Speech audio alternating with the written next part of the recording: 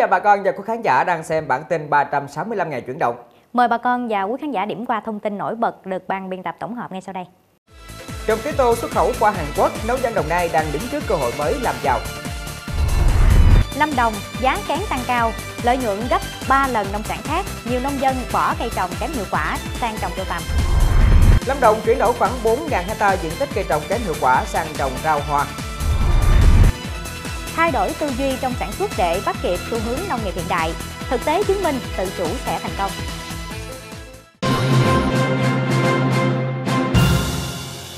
Thưa bà con, chắc là bà con mình đều biết lá tía tô đúng không ạ? Loại cây này rất là dễ trồng nên được trồng ở rất là nhiều nơi để làm gia vị và làm thuốc. Thuộc thân cây thảo, cao 0,5 cho đến 1 mét và lá mọc đối, mép thì có răng cưa.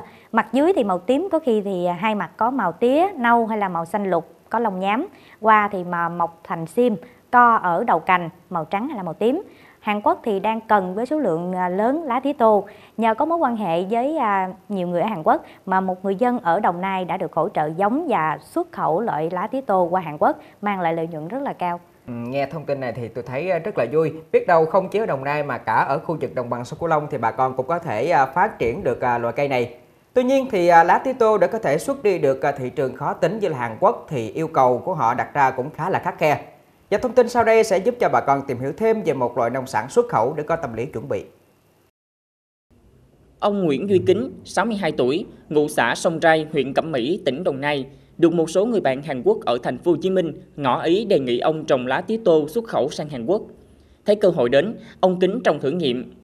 Thời gian đầu không hiểu kỹ thuật nên số lượng lá không đạt chuẩn xuất khẩu, Mày mò tìm hiểu, cuối cùng ông phát hiện ra nguyên nhân do quy trình trồng theo người Hàn Quốc không phù hợp với thổ nhưỡng khí hậu ở Việt Nam. Khí hậu ở Hàn Quốc lạnh nhiều, trong khi ở Việt Nam dùng nhiệt đới, nóng ẩm. Sau khi tìm được nguyên nhân, ông Kính đã từ từ khắc phục như giảm lượng nước tưới, duy trì độ ẩm của đất ở mức phù hợp. Từ đó những lứa sau, cây tía tô bắt đầu sinh trưởng tốt, không cần đợi đến 2 tháng mà chỉ một tháng rưỡi cây đã ra lá chuẩn, bắt đầu cho thu hoạch. Theo ông Kính, muốn xuất khẩu qua Hàn Quốc, ngoài việc lá phải đạt kích thước nhất định thì còn phải đảm bảo sạch, tức là không được phun bất cứ loại thuốc bảo vệ thực vật nào. Mỗi đêm chỉ cần trong đèn khoảng 4 giờ, từ 18 giờ đến 22 giờ. Ông Kính đã có 6 hecta, mỗi ngày có thể thu hoạch khoảng 1 tấn lá tía tô với giá bán từ 20 đến 60 ngàn đồng một ký, tùy vào chất lượng lá. Theo tính toán của ông Kính, khi trưởng thành 1 hecta, cây tía tô có thể thu hoạch được 300 kg lá một ngày với giá thấp nhất là 20.000 đồng một ký, bình quân mỗi năm mang lại lợi nhuận hơn nửa tỷ đồng. Niềm vui khác đang đến với người dân Lâm Đồng. Theo các hộ dân trồng dâu nuôi tầm ở huyện Lâm Hà, với mức giá như hiện nay, trung bình một hộp tầm giống nuôi trong 15 ngày cho thu hoạch, người dân có lợi từ 7 đến 8 triệu đồng. So với năng suất và mặt bằng giá cả trong cùng thời điểm 3 năm vừa qua, thì trên 1 hecta trồng dâu nuôi tầm giống mới, mỗi năm thu lợi hơn từ 2,5 đến 3 lần so với các loại nông sản khác. Theo khảo sát, Hiện giá kén dao động từ 160.000 đến 170.000 đồng một ký. Tuy nhiên, vẫn chưa đạt đỉnh của năm ngoái là 200 đến 220.000 đồng một ký. Giá kén tăng cao do hiện nay trên địa bàn đã hết mùa mưa, kén tầm cho chất lượng và mẫu mã đẹp nên được thị trường ưa chuộng. Với mức giá này, nông dân lại cao hơn nhiều so với trồng những loại cây nông nghiệp khác, nên nhiều hộ nông dân đang chuyển đổi từ sản xuất cà phê, lúa, chè sang trồng dâu nuôi tầm Giá kén tầm tăng cao là do nguồn cung không đáp ứng đủ cầu của các cơ sở ươm tơ dịch lụa trong và ngoài tỉnh. Tơ tầm Việt Nam là mặt hàng được các thị trường quốc tế như Nhật Bản, Trung Quốc ưa chuộng và trong nhiều năm qua, tơ Lâm Đồng được sản xuất chủ yếu để xuất khẩu. Theo thống kê của ngành nông nghiệp tỉnh Lâm Đồng, trên địa bàn tỉnh hiện có trên 5.200 hecta dâu tầm, sản lượng kén tầm đạt trên 5.000 tấn mỗi năm, với gần 16.000 hộ dân trồng dâu. Nuôi tầm tại 10 quyện và thành phố Bảo Lộc Năm 2017, các sản phẩm tơ tằm phục vụ xuất khẩu và tiêu thụ nội địa mang thương hiệu xuất xứ từ Bảo Lộc đạt giá trị gần 10 triệu đô la Mỹ. Thưa bà con và quý khán giả, ở đất Tây Nguyên chừng không làm giàu bằng những loại cây công nghiệp quen thuộc như là cà phê, hồ tiêu hay là cây ăn trái, mà độc đáo hơn, anh Nguyễn Tiến Dũng ở thị xã Giang Nghĩa, tỉnh Đắk Nông đã chọn mô hình cây dương sĩ Pháp, một loại cây lấy lá dùng để tô điểm khi cắm hoa. Làm giàu từ à, những cây phụ kiện để mà cắm hoa có lẽ là ít sợ à, không có đầu ra đúng không anh Minh Thiện? Bởi vì à, một cái giỏ hoa, một chậu hoa hay là một lẵng hoa thì cũng cần những cái phụ kiện như vậy. À, vậy thì cái mô hình à, anh Minh Thiện vừa nói thì tôi nghĩ là đầu ra rất là tốt. À, bây giờ thì tôi mời quý vị à, cùng theo dõi thông tin sau đây để có câu trả lời. Không tốn quá nhiều công chăm sóc và diện tích lớn, chỉ cần 5 sào đất và hệ thống nhà lưới, nước tưới kết hợp bón phân. Sau 6 tháng, vườn dương sĩ Pháp của anh Dũng bắt đầu cho thu hoạch. Thu nhập từ loại cây này rất ấn tượng và ổn định, từ 20 đến 25 triệu đồng mỗi tháng. Chưa kể những dịp lễ đặc biệt như 8 tháng 3, 20 tháng 10, 20 tháng 11. Điều mà anh Dũng tâm huyết ở mô hình này là kỹ thuật chăm sóc cây dương sĩ Pháp khá đơn giản, Cây hầu như không bị sâu bệnh, mỗi năm chỉ cần phun thuốc phòng ngừa 1 đến 2 lần, đồng thời bón phân sinh học một lần là đảm bảo năng suất. Rau là một trong những cây trồng chủ lực khai thác được tiềm năng ưu thế về điều kiện khí hậu đất đai của tỉnh Lâm Đồng, cung cấp chủ yếu cho thị trường trong nước và xuất khẩu sang một số nước trong khu vực. Năm 2017, diện tích gieo trồng rau toàn tỉnh đạt hơn 61.300 ha sản lượng đạt hơn 2 triệu tấn. Trong đó có 960 hecta rau được sản xuất theo à, tiêu chuẩn an toàn và cung cấp vào các chuỗi siêu thị lớn cũng như là xuất khẩu. Đặc biệt Lâm Đồng có 20 hecta diện tích thủy canh đạt thu nhập từ 1 cho đến 3 tỷ đồng và đang đưa vào thử nghiệm thành công sản xuất rau khí canh. Với việc áp dụng các công nghệ hiện đại vào sản xuất đã đưa năng suất chất lượng rau ở Lâm Đồng tăng cao. Hiện nay toàn tỉnh Lâm Đồng có trên 9.200 hecta diện tích gieo trồng hoa, tăng 3.800 hecta so với năm 2013. Sản lượng đạt 3 tỷ 300 triệu cành, tăng 73% so với năm 2013. Năng suất bình quân tăng 3,7%. Trong 5 năm qua, tổng diện tích đất canh tác rau hoa trên địa bàn tỉnh tăng khoảng 4.000 hecta. Diện tích này chủ yếu được chuyển đổi từ một số vùng đất trồng cây hàng năm lúa một vụ và cây lâu năm kém hiệu quả. Nhờ vậy đã nâng cao thu nhập trên từng đơn vị diện tích, nâng cao đời sống cho người sản xuất nông nghiệp và góp phần đáng kể vào quá trình chuyển dịch cơ cấu kinh tế ngành.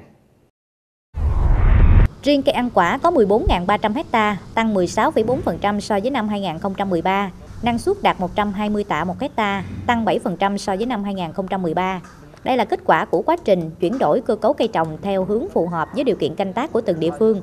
Đặc biệt tại ba huyện phía Nam đã chuyển đổi một số diện tích cây lúa, cây điều năng suất thấp sang chuyên canh các loại cây trồng có giá trị kinh tế cao như sầu riêng, măng cụt và các loại cây có muối.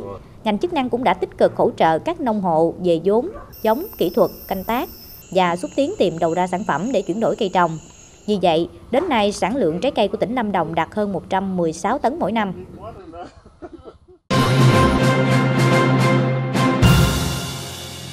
Hiện nay các địa phương khuyến khích nông dân tham gia hợp tác xã, tổ hợp tác để chủ động đầu ra hơn nhằm à, góp phần nâng cao hiệu quả hoạt động của hợp tác xã nông nghiệp và xây dựng nông thôn mới. Từ năm 2019, tỉnh Khánh Hòa sẽ thực hiện thí điểm mô hình đưa lao động trẻ về làm việc à, có thời hạn tại hợp tác xã nông nghiệp trên địa bàn tỉnh Khánh Hòa giai đoạn 2019-2021.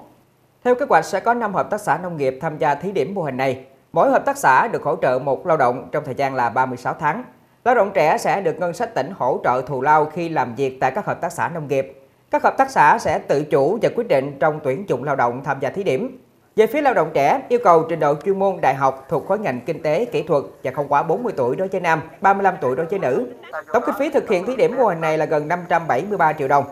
Thống kê, toàn tỉnh có 84 hợp tác xã nông nghiệp với trên 40.000 thành viên. Việc triển khai thí điểm mô hình nhằm tăng cường chất lượng cán bộ chuyên môn, tạo nguồn cán bộ quản lý lâu dài cho các hợp tác xã nông nghiệp.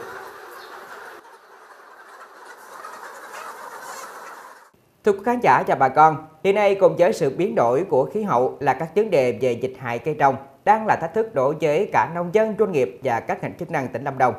Vì vậy, ngoài các giải pháp khoa học thì để có thể nâng cao hiệu quả canh tác thích ứng với môi trường, các nhà khoa học khuyến cáo nông dân cần phải luân canh, chuyển đổi cơ cấu cây trồng. Nhưng mà trở ngại lớn nhất cho vấn đề này là nông dân ngại thay đổi thói quen canh tác và lo ngại về à, tính hiệu quả của cây trồng mới. Nhân và nông nghiệp à, đang à, trên đường phát triển như hiện nay thì cần phải à, đổi mới à, thì cái thói quen canh tác cũ sẽ khiến cho bà con gặp rất là nhiều khó khăn, nông sản sẽ khó tìm đầu ra. Vậy nên đã có những nông dân à, thấu hiểu được điều này, đã dám nghĩ, dám làm, dám thay đổi để mà hái được những quả ngọt của sự mạnh dạn và quyết tâm này. Một vài điển hình sau đây xin gửi đến bà con như là một sự chia sẻ trong cách sản xuất. Anh Nguyễn Văn Bảy, phường 10, thành phố Đà Lạt đã gắn bó với những loại cây trồng như một phần tất yếu của cuộc sống của anh. Trước đây anh chỉ đọc canh cây cà chua với suy nghĩ mình đã quen với quy trình sản xuất này. Nhưng quá trình canh tác anh nhận thấy cây trồng bị sâu bệnh hại tấn công, cộng với tính chất đất đã thay đổi do độc canh một loại cây trồng lâu ngày nên anh đã quyết định đa dạng hóa cây trồng.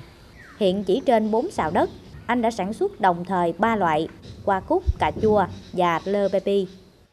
Thì mình cứ thay đổi luân phiên trong cái vườn của mình chứ mình không có trồng lặp lại một thứ vì tất cả những cái cây trồng này thì những cái dòng chích thuốc thì nó sẽ như nêu hết thì mình sẽ mình cứ nghĩ là mình sẽ đổ là nó khác cái loại cây trồng thì mình có thể tiêu diệt được những cái phần nào thì nó sẽ đem lại cái hiệu quả cao hơn mình trồng sen thì mình thấy mình cái nguồn nào mình cũng có thu nhập được hết cũng giống như anh Bảy, anh Bùi Văn Sự ở thôn Quảng Hiệp, xã Quảng Lập, huyện Đơn Dương đã từng canh tác các loại rau củ và một số cây ngắn ngày khác.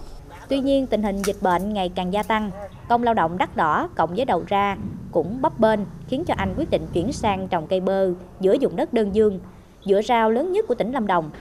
Ban đầu cùng nhiều lo lắng trăn trở với loại cây trồng mới với kỹ thuật canh tác khác hoàn toàn, nhưng bằng quyết tâm và sự học hỏi, anh đã thành công. Hiện nay với diện tích khoảng 4 sào đất này, mới ở tuổi thứ ba, vườn bơ đã cho năng suất khoảng 4 tấn. Đây là giống bơ bút trái mùa nên giá bán cũng đạt hơn 100.000 đồng một ký. Hứa hẹn sẽ cho anh nguồn thu nhập khoảng 400 triệu đồng trong vụ bơ năm nay. Cũng có trồng cây ờ, ngắn ngày rồi cây ờ, dài ngày cũng có như chanh rồi ờ, cây dứa gọi là cây thơm đó. Cũng trồng đủ thứ hết nhưng mà nó thứ nhất là vất vả, thứ hai thì giá trị kinh tế nó mang lại cũng không có như mình mong muốn rồi bệnh tật của nó, nó khí hậu điều kiện nó không không không, không, không phù hợp lắm thì à, từ đó mình tìm hiểu thì mình đưa cái giống bơ này vào mình làm tới giờ. À, hiện nay á thì à, qua cái thời gian canh tác dài đất nó lão hóa nó bị bào mòn. Yeah. thì hiện nay cái à, cái phương án mà để sử dụng cái nông nghiệp bền và vững rất là hiệu quả và không còn cái cái hướng canh tác lạc hậu như ngày xưa coi như là phải suốt ngày là cứ phải đi bón phân với bơm thuốc nhiều. Nhưng mà bây giờ là nó trở thành tạo ra một cái nền đất là bền vững cây có thể là phát triển quanh năm dám nghĩ dám làm nhất là dám thay đổi một thói quen chấp nhận rủi ro tiếp cận cái mới đã đưa nông dân lâm đồng vượt qua những khó khăn của những điều kiện khách quan đó là sự thể hiện phương châm làm chủ tư liệu sản xuất làm chủ cơ hội để đi đến thành công của nông dân tỉnh có thế mạnh về nông nghiệp Đa dạng hóa cây trồng, đồng thời áp dụng khoa học kỹ thuật tạo ra những nông sản sạch, chất lượng, phục vụ người tiêu dùng hướng đến xuất khẩu là xu hướng nông nghiệp 4.0. Mạnh dạng thay đổi suy nghĩ, tận dụng những nguồn vốn hỗ trợ để tự chủ tư liệu sản xuất cũng là yếu tố thành công của nông dân à, tỉnh Lâm Đồng hiện nay. À, và đến đây thì bản tin 365 ngày chuyển động xin được khép lại. Kính chúc bà con làm ăn thuận lợi. Và nếu có ý kiến phản hồi hoặc là muốn tìm hiểu thêm về cây con giống thì xin liên hệ với chúng tôi tại địa chỉ 365 ngày chuyển động ltv a.gmail.com hoặc là thông qua số điện thoại 02633 829 930.